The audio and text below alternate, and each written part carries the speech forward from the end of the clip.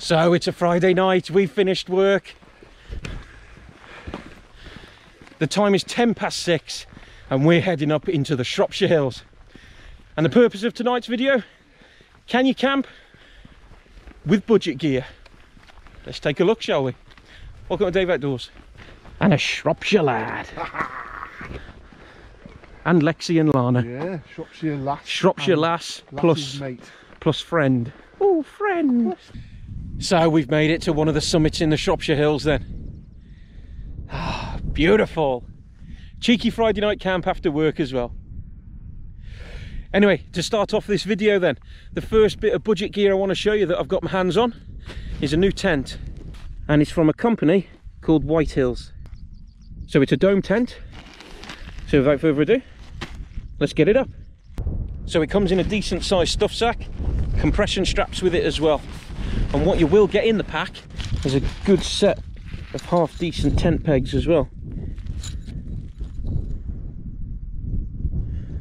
Quite sturdy, very strong. You will get your set of poles as well. And also you get your inner and your outer. The only bad thing about this tent so far is you have to pop the inner up first. And in a bit of a rainstorm, that's not going to be a good idea. But the weather's glorious tonight. Let's get it up. The tent, that is. So that's it all pegged out. And you can kind of get the gist what it's going to turn out like with all these clips. And the end of the poles just sit in the tabs here.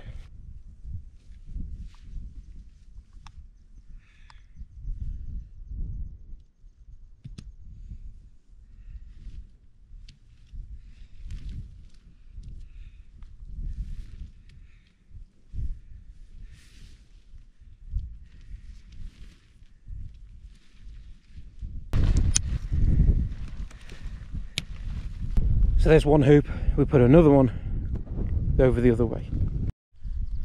So that's all the inner popped up.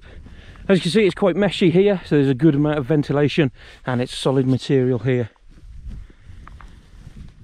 We've also got a couple of tabs here and that's for another little straight line pole, it goes straight across. Before we do that though, let's just admire this view. As I keep saying, Shropshire Hills, hidden gem. So not only am I joined by a Shropshire lad, I'm joined by a Shropshire lass and Lana. And they're in the Naturehike Cloud Peak 2 tonight. Similar sort of design to this one. Anyway, let's get it finished and I'll crack open my second IPA.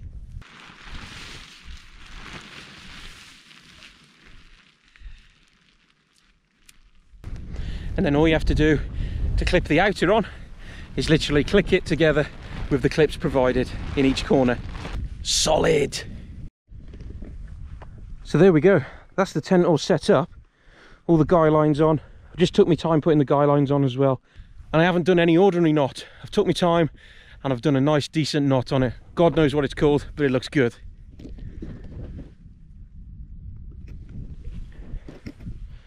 So you've got two ventilation uh, ports either side, so one there and one round the other side. So as you can see, if it's in the winter as well, you can take that off and have it shut, which it will Velcro, but because it's warm tonight, I'm going to be keeping that open. Without further ado, let's show you inside. One thing I do love about this tent, you can roll half of the door back but then you can roll all of it back as well. So you just take the peg out and roll it back. Another good thing I love about this tent so you can just have it as a netting door or you can have it netting and fabric. So if I was to close this up now it's all see-through. You get a good bit of ventilation as well so you can do that on both sides. Keep the door open and that's why I've pitched it like this.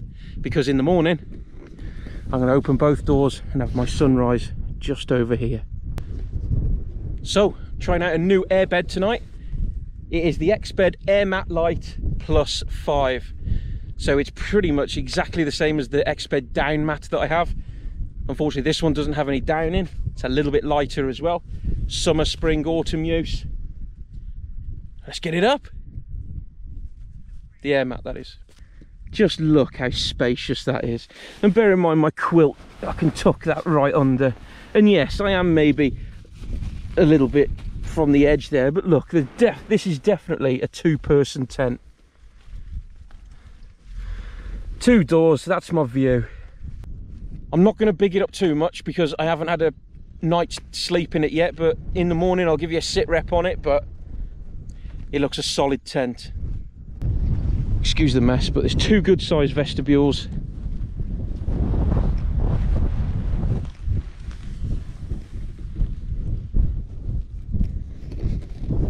Happy chappy.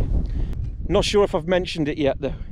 The tent weighs around 2.7 kilograms or 2.8 can't remember off the top of my head but I'll put it just on the screen here but if you don't mind carrying that weight, I mean, for two years I had a Banshee 200, which is around 2.4 kilogram, I think.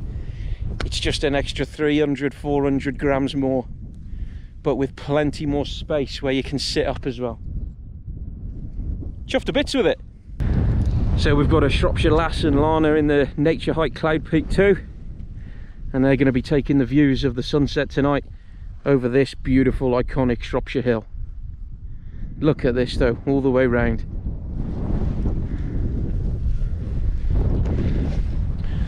Unfortunately, a Shropshire lad's come out in his cheap tent tonight because the girls have got his expensive tent.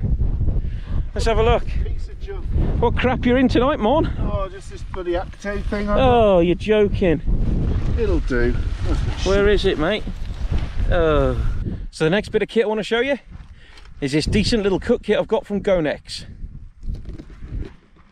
So it is just a frying pan and a saucepan.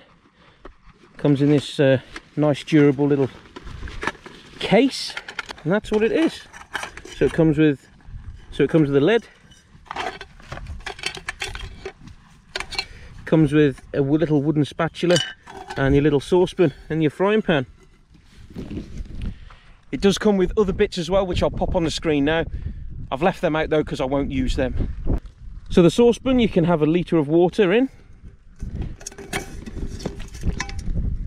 some decent handles as well on it as well. Plastic coated on the ends. And it'll be the same with the frying pan as well.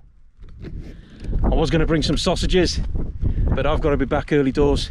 So unfortunately I won't be using them to cook sausages in. So the next bit of budget kit is from the lovely Hannah at the Fellstore. And it's the Vango burner. Let's have a look. So there we go that's the Vango burner. Extends out. Let's see what it looks like on the gas canister. So that's what it looks like. Quite impressive. Pretty lightweight too. I'll put some specs on the screen now for it. Available at the Fellstore. So the next bit of budget kit was this little piezo igniter. It was off AliExpress. I think it comes to literally about two quid, that's it. But it's just sparked this up first time. Let's have a look. So I've used the Gonex frying pan as a bit of a stand because I forgot my stand for the gas canister. And then we're just boiling half a litre of water. Because tonight's choice for tea, something new from the Fellstore. It is the Firepot chicken keema curry. New out, We'll eat it, see what it's like, and I'll let you know. The past couple of Firepots haven't been that good really, apart from the barbecue pulled pork, which was really nice. It's probably the best one that they do, along with the spicy pork noodles. But yeah, keen to try this, so I'll let you know what it's like. So there you go, half a litre of water, just starting to boil, and it's just gone two and a half minutes. So yeah, I think that'll do me. Well, it's time to tuck into tea. Let's have a look inside first, shall we? Give that a mix up.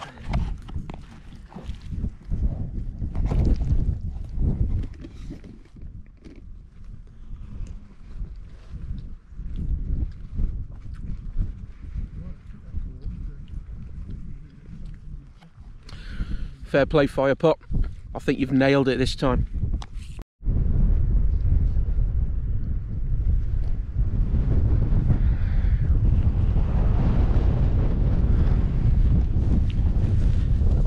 I found.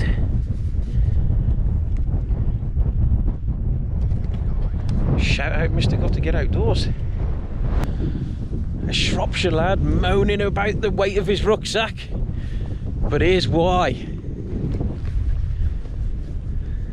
Evening all. Tonight we have bottle of Shiraz, as you do, and uh, Wensleydale with cranberries. And I think that's a rule with um, pineapple and Scotch oat cakes.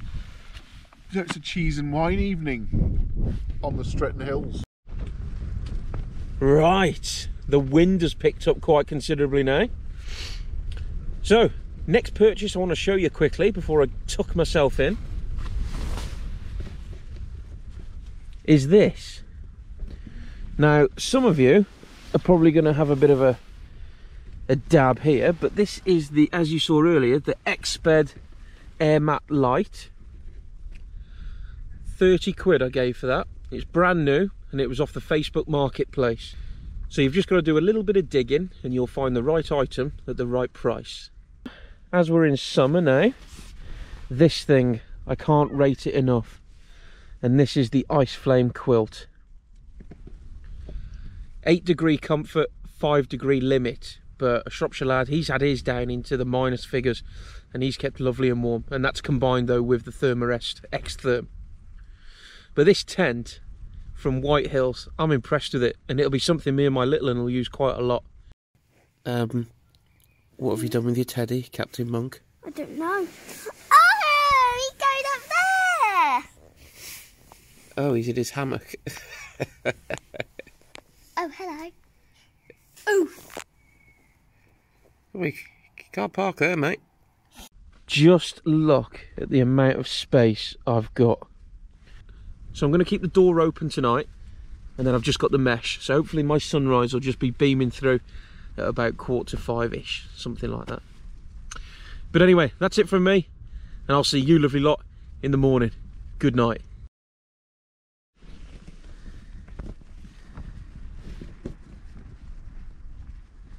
Good morning, everybody. Well, the wind got up in the night, and it still is a little bit, or it's calmed down, shall I say. But the tent stood well. Really impressed with it. So I've got a little bit of condensation on the inside, but you'll get that anyway. So from both the vents, it does offer quite a bit of air coming through, and I can feel it when I put my hand up into there. But look at this for a view this morning.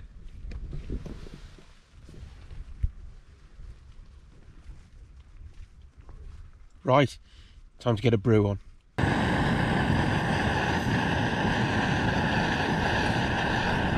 So I must admit, those pots and pans from Gonex, for a bit of budget gear, they're pretty good and I'm impressed. For a long distance hike though, so something like the Heart of Wales Line Trail, would I take it? Possibly not. I'd probably stick to my lightweight kit that I've got, as we all know. On the on the trail, those extra grams count. But for somewhere like this, a local overnighter, yeah, I'd definitely take it. And what a beautiful morning it is. So Lexi and Lana have just took their tent down. We're just leaving ours up to dry. Look at that for a view.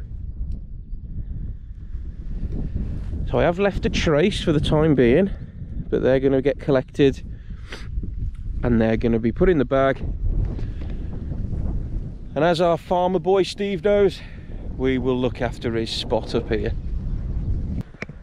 So just before we disappear then, I just want to uh, big up this tent. It got to about 15 mile an hour wind last night, I'd say. And that thing held it perfect. Really impressed with it. I'll leave a link in the description to the tent and to their website, Whitehills Tent. Just give you a quick look at the vestibule size as well so you can kind of gauge. And it was lovely just laying there this morning watching the sunrise. So it's a 3000 millimeter hydrostatic head material.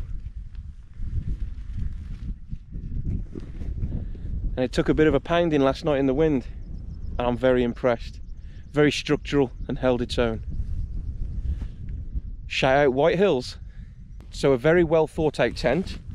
There are just a couple of criticisms with it, and that's the weight. But again, if you're one that doesn't mind carrying the weight, 2.7 kg, same as the Naturehike Cloud Peak 2, I believe. And the pack is also quite bulky. But again, it's nothing different to the Naturehike Cloud Peak 2 at a fraction of the cost of that as well. So yeah, go and check them out and go and see what they're like. But for me, this will probably be coming with me on a couple more adventures this year. So there we go, that's where I was last night. And as always, leave no shiz. Nothing's left. Beer cans are in there, you might be able to see. We're good to go. We wave goodbye to the Shropshire Hills. Saying. This is where we were. We leave no shiz. You've got to turn it around No, now. you haven't. I can't find a bit of litter. So as we walk along the gravel track then, that's where we were last night. And it's been a great camp. So there's some great budget gear there. I'll leave links in the description to them. Yes, you do have to look around for them, but you can get some brand new bargains. Facebook Marketplace, Gumtree, you've just got to take a look for them. As I said, there'll be links in the description. Thanks ever so much for watching. And me and thee, will see you on another non-lockdown adventure with me. Dave Outdoors.